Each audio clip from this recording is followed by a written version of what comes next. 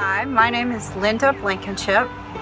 My husband Philip and I have been members of New Hope Lutheran Church here in Missouri City for almost four years.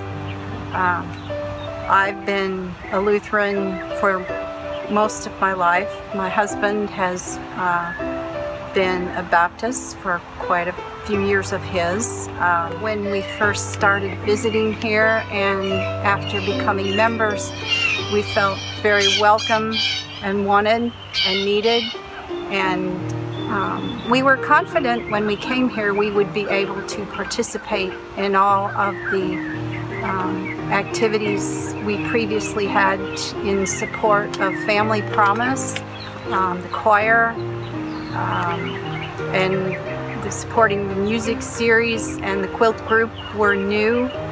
Uh, it, it's it's been important in my life personally because it's changed how I felt about um, a number of social issues and